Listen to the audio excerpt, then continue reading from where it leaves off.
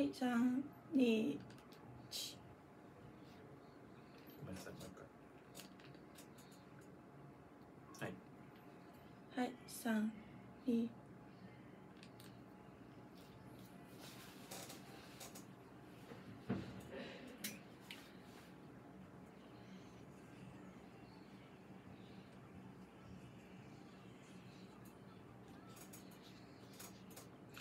FM ギルワンのラジオをお聞きの皆さんこんばんは。こんばんは。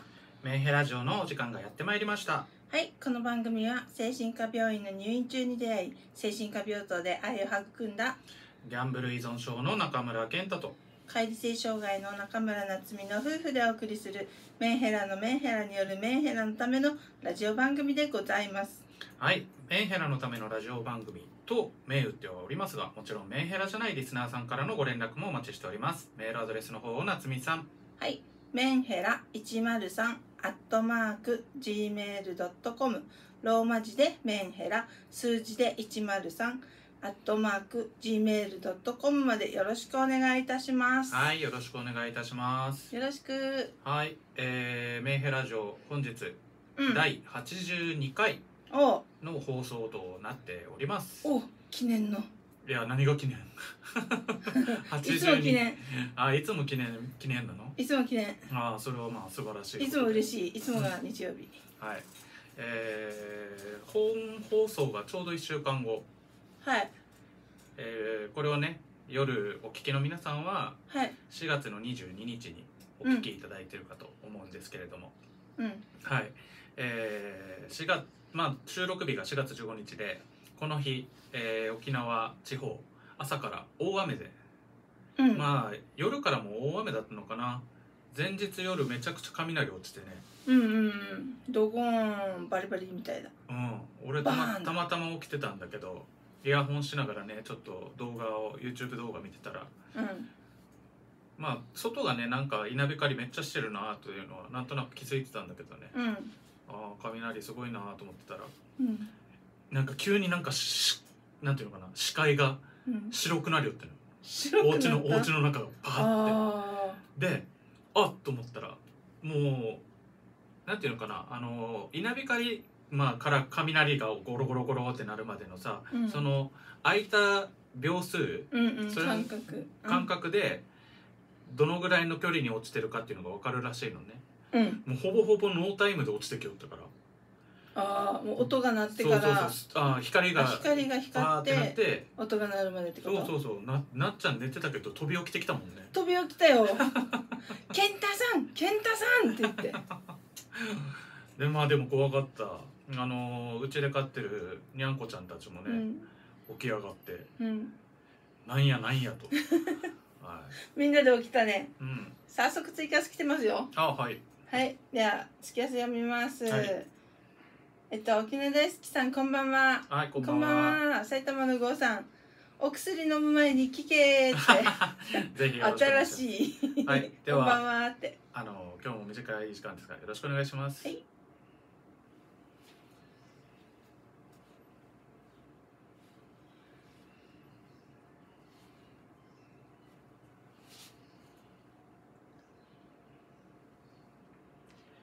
メンヘラトーク。はいはいはいはいはい。はいこのコーナーはタイトルそのまま私たちメンヘラ2人がテーマに沿って時にはテーマから脱線しつついろんなことをお話しするコーナーでございます。はい、メッセージもツイキャスもどんどんお待ちしておりますのでバカバカ送ってください。はいよろしくお願いいたします。はい。はい、では、えー早速行こうかな。あでも何？電波不足でさ、うん。電波不足でなんかまた映らなくなるかもしれないけどまたつなぎますんではい。あツイキャスの方ですね。ツイキャスの方はいです、はいであのー前回もね話したけど、なんか天気悪かったりするとうん。まあ普天間飛行場の影響かも分かりませんけれどもなんか、なんていうのかなそのでうん、ツイキャスのねつながりがちょっと悪くなるということで、はい。夏美さんがツイキャスをちょっと見ながらうん。コメントを追いながらやってはいますけれども。はい。はい、あのーコメント届いたらぜひ読み上げていただければと思いますのでよろしくお願いいたします。はい。はい、では早速、えー本日の、えートークテーマ参りたいと思います。はい、本日のトークテーマは私の萌えコスチューム。はい、はい。と言います。いうわけで。はい。はい。あのー萌えコスチューム。萌えコスチューム。うん。あの好きなうん。っ言ったら制服てこと？だったり、うん。なんていうのかな。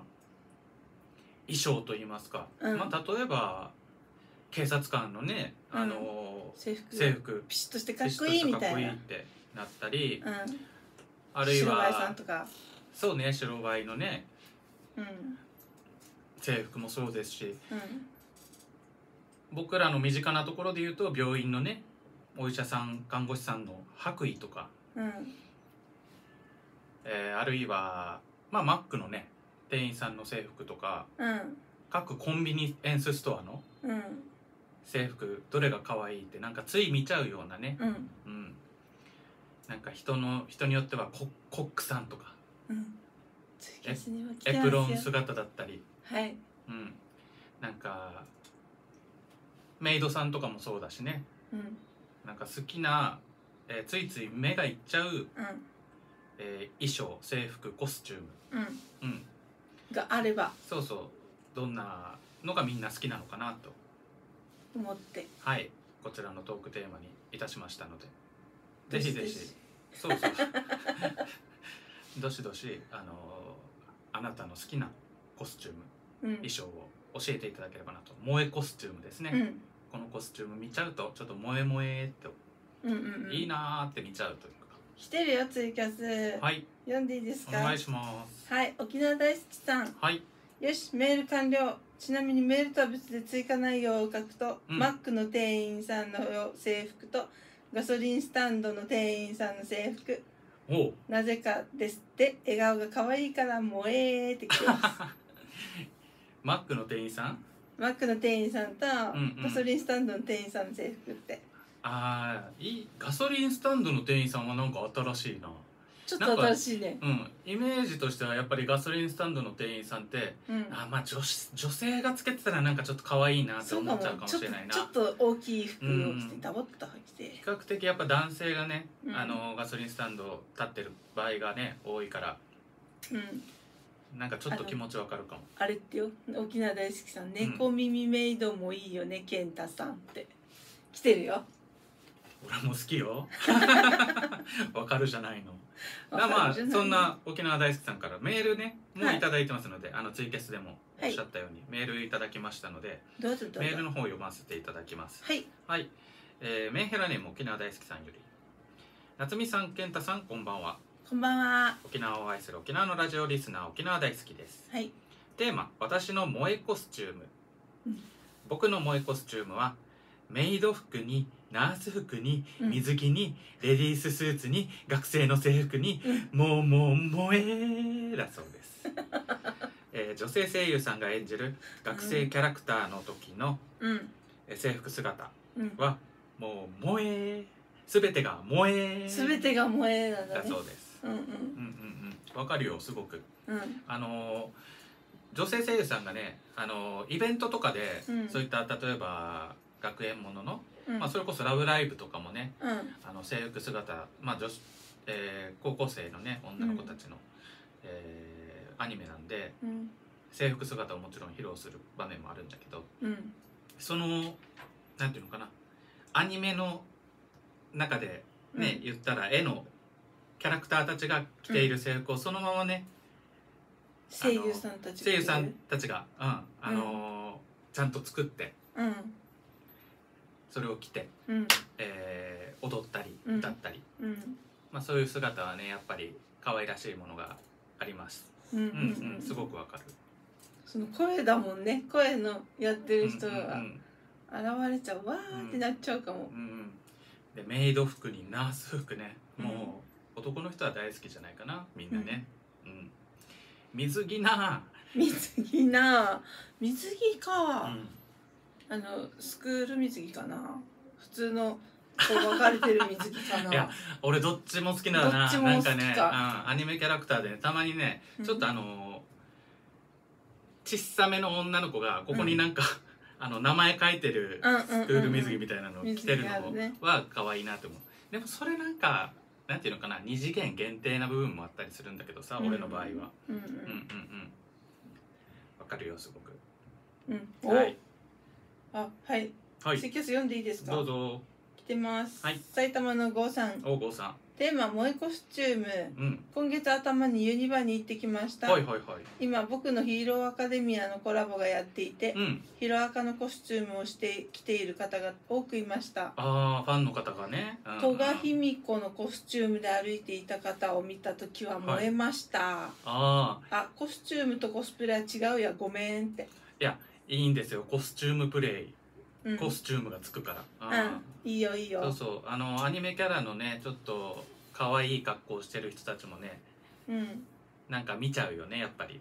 あすごいと思うし、うん、すごい。あ、ん。ありよね熱量ねすごいよね。特にねやっぱりああいう二次元のものをうん。着る人コスチュームとして、うん。自分でコスプレする人って、うん。それなりにやっぱり自分にのスタイルだったり、うんえー容姿にねうん。自信がある人がやってるからやっぱ似合うのよ、うんうんうん。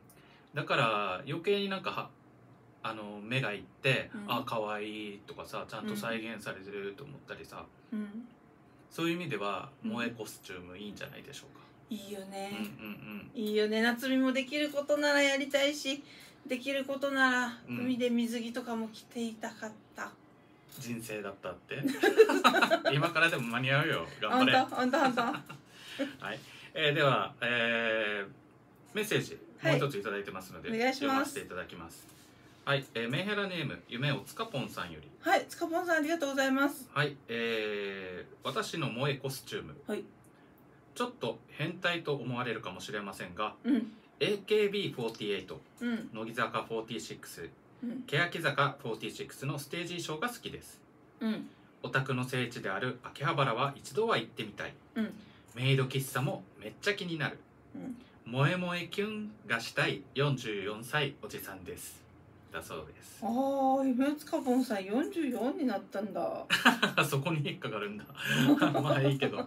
えでもわかるよ。あの AKB とか、うん。その48グループって言ったらいいのかな？秋元康さんがプロデュースしている、うん。あの辺のアイドルグループが着てるさ制服ってちょっと可愛いやっぱり凝ってるからね。作られるうんうん。ねプロの多可愛い分と思う。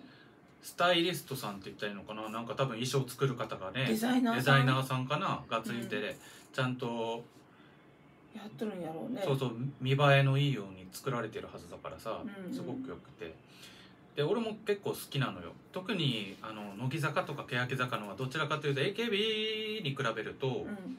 なんかちょっと大人なというかさ落ち着いた感じの？うんうん。あのなんかシュッスッとしたシュッとした感じ？うん。うん。あれは結構好きで。うん。であの最近最近っていうかついね先日うん。あのこれまたちょっとアニメの話になっちゃうんだけどうん2年前ぐらいかな？に放送2年前か3年前ぐらいに放送されていたうん「えーリコリス・リコイル」っていうさテレビアニメがうんうん。あってうん。通称「リコリコ」っていうんだけど、うん。あの孤児の女の子たちがうん。言ったら戸籍のないような女の子たちが引き取られて、その引き取った期間がうん。この子たちを日本の治安を守る暗殺部隊というかさ、影のなんていうのかな掃除屋みたいな形ではいはい。あの犯罪を未然に塞いだりするっていうさ、うん。えあー。ー要は養成機関みたいなへえところで育てられるんだけどうん。その子たちが着てるいわば戦闘服みたいなものが女子高生が着る制服なのよね。うんうんでまあ理由は女子高女子制服女子高生の制服うん。が一番あの街に馴染んで警戒されにくいからっていう理由もああるそうなんだけどその制服をデザインしてるのがうん。普通だったらさアニメーターとか、うん。えーまあ、イラストレーターの方がデザインするんだけど、うんうん。実際のそのなんていうのかなアイドルグループのうん。制服をのデザインを手掛けてるデザイナーさんがうん。デザインしてうん。それをそのままアニメに書き起こしたというかうんアニメ用にね。うだからそのリコリス・リコイルでそのヒロイン主人公たちが着ているうん。その暗殺部隊というかその部隊が着てる制服うん。がか結構可愛いの、ちょろっと見たけど可愛かったうんう、なん。デザインがすごくおしゃれでねうん。可愛くて。これ多分あのつかぽんさんもちょっと可愛いと思うんじゃないかな。おすすめなので、ぜひつかぽんさんリコリス・リコイルちょっとあのヒロインたちが着てる制服ちょっと一度見てほしいぐらい、ううんんうん、可愛いんで。おしゃれですよ、いいじゃない？うん、なんかアニメのオープニングとかもねなんか結構スタイリッシュで。あいいじゃない、はい。何？いっぱい来ておすすめです。るありがとうございます。ツイキャスの方、はいお願いし言ってもいいまですどうぞどうぞ、ラブライブのあ沖縄大好きさん、いラブライブのライブの時に声優さんが身につけているライブ衣装も良き、うん。もうもう推しが可愛くて推しが可愛くて 叫ばずにいられません。萌えが止まらないよね。深夜に聞いてる皆さん叫ばせてください、はい。あ いいね。ー埼玉の郷さんはい。好きなコスチュームをようん。う裸エプロン。わかるよ。それね あの男としてのテテーマというかねわかるわかる。うんうんうん。ロアさんこんばんは。って、はいこんばんは。うん。ありがとうございますロアさん。こんばんは。こんばんは。沖縄大好きさん。はい。坂グループの衣装って可愛いよね、AKB のヘビロテの衣装も可愛かった。うん。乃木坂もみんな可愛い子が多い。もうもうええ乃木坂の好きな曲は「お日様天国」って。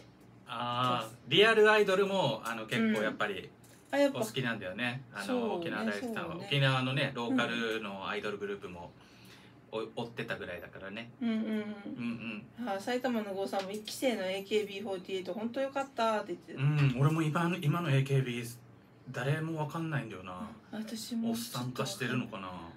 私もちょっとわかんないけど あの知念せいやさんから来てます。はい知松念さん。見さん健太さんこんばんは、お久しぶりですって。あお久しぶりおです。久しぶりです。どうもどうも。やってますよ今日も、はい。い、らっしゃい。ありがとうございます。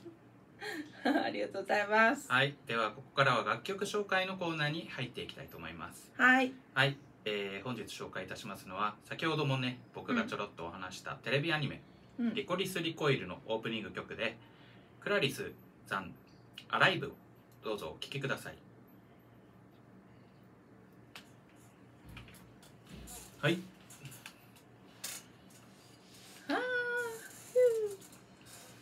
お沖縄大好きさん来てる。うん。リコリコの制服かわいい。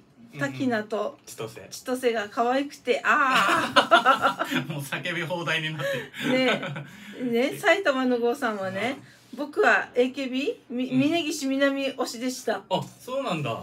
でロアさんもうん。私の旦那も峯岸みなみ推しでしたって。えー、峯岸結構人気なんだ、俺俺何だったかな？俺柏木由紀が結構好きだったの。あ本当？ああるよあるよ。あの沖縄大好きさんから来てます。柏木由紀子とゆきりんもうん。うん今週先週の「M ステ」が最後の出演でした。ああ卒業なんだねそう。うんうん埼玉の郷さん。あ大久保と仲間やって。南推しの大久保さんと仲間やみたいな。柏木由紀さんが好きだったんだけどうん、うん、ゆきりんがね一回ね手越と手越優也そうあったななんか。なんかあったのよ。なんかニャンニャン画像じゃないけどさうん。二人で写ってる写真がさたね流出したというかさうん。あってから俺あれでちょっとなんかショックでショックだったんだ。ゆきりんをなんていうのかな押せなくなった。純粋な目で押せなくな 見れなくなって。ゆきりん推しちょっとな引退しました。ああそうなんだね。うん。なるほどね。うん。うーん。えー、っと AKB はまゆゆと板野友美って沖縄あ大好きさんが言ってる。好きさんは。ああなるほどなるほど。うーん。あわかる。埼玉の郷さん笑い顔が素敵な方は好き。うんももクロでは高木れにちゃん推しって。私もレニちゃん推してたちょっとだけちょっとだけってか可愛いなって笑顔なってたな。うん。わかる。ももクロではゆきりんももちろん沖縄大好きさ。あーもうありがとうございます。もその辺のねあの48グループの制服はみんなやっぱ可愛いと思ってるんだね。そうねそうだね、うん。やっぱ可愛いと思ってんだ。意外となんか女性のねうん。好きなコスチュームとか何なのかな。男性はね大体まあ俺も同じ同性だからうん。想像つくんだけどうん。女性が好きななんか女性の萌えコスチューム。夏美の聞く？夏美のはちょっとあれが終わってから行こうかあなオッケーオッケー。音楽がね。ううんうん。んあいいね。あの女性は女性はやっぱ警察官とか多いんじゃない？ああそうなんだ。やっぱさメンヘラだったらさちょっと白衣にはやっぱり白衣は外せないとこはあるかな？メンヘラさんは？メンヘラさんは,、はいはいはい。もしかしたら。ときめくうん時期が必ずあると、いやうん。先生に恋すること一度はあるでしょうね。夏美さんはね。うあるんじゃないでしょうか。はいはいはい。そこら辺のこの気持ちはよくわかります。おなあ。ー 今メンヘラさん聞いてる？聞聞いてるかな？メンヘラさんメンヘラさんわかるかな？うんシシシュああー来てた来てた来てたうんはいはーいはい。はい、お聞きいただきましたのは、クラリスでアライブでした。はいはい。えー、リコリコね、この前12話一気見したんだけどね。あ一気見してたんだそうそう、あれも、あ、13話かなうん。最終話までちゃんと見たんだけど、うん。あのーリコリス、リコイルの中で、うん。宮古島のね、なんなんちゃらタートル、なんかカフェみたいなのがね、うんうん。取り上げられて、そこがなんか聖地になって、あそれか、はい、あのーコラボカフェとかやったらしくて。はいはいはいはい。結構人気なアニメなので。なんか2期もね制作されるとかで、じゃあ続くんだねまた見れるってこと？ちょっと楽しみなんですよ、うん。あのー最後に戦ったボスみたいな人がね、うん。あのーやられてちょっと高いところが落ちてね死んだかと思ったんだけど、うん。最終的になんか包帯ぐるぐる巻きでうん。ちょっと出てきたりして、いやなかなかしないんだ。うん、だから次回作というか楽しみに。は楽しみにしております。い。はい、えー、ではメンヘラ城エンディングでございます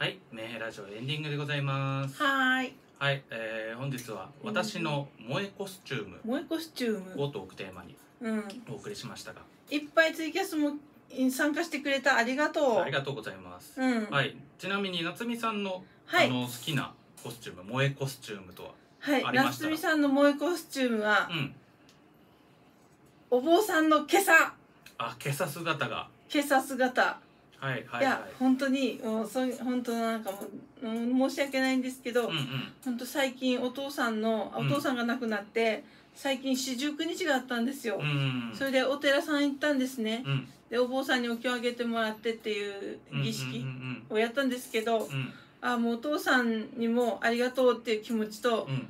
あまた違う意味でありがとうっていう気持ちもありましてうん、お坊さんの今朝をちょっと見てました、ほう。うん、よくて。ああ、よきよきって思って。ちょっと目の保養になる感じ。うん。なんかね、うんうんうん。集中できなかっただから。でもいるよね、あのお坊さんの今朝姿、うん。好きな女性。うん。うんうんうん。いるかな？いるかな？いると思う。それこそ何だったかな？ロアさんどんな？ドラマでさ、うん。5時から9時までだったありましたねヤマピーの。ヤマピーが石原さとみさんと。お坊さん役、ううんん、あの漫画原作のねドラマがやっててヤよかった。マピーがやってたらしいんだけどそれもよかったよ。あ見てたんですね。よかったよ、はいはいはいはい。うん。ですね。あとやっぱりお医者さんにも私はあーうーんちょっと怖いなっていううん。気持ちもありつつ、うん。あの主治医の先生のことを好きになったことがあるので、はいはいはい。へへへっていう白衣萌えなりますもあると。ちょっとあります。うーん。なんかシンプルに例えばそうね男性のスーツ姿みたいなの？スーツ姿は、うん。私は個人としてはそんなに来ないです。あネクタイ締めてる感じとかあんまり。あ好きだけど多分普通のかっこいいと思うんです。やっぱ好きな人が来てたらうんうんうん。キャーってなるんだよ。うん。そういうそれは。ああそんなもんかやっぱり。うん。だとうん。思う。私はうん万人のスーツ姿はうん。別に何とも思わないですあそうなんだ。うん。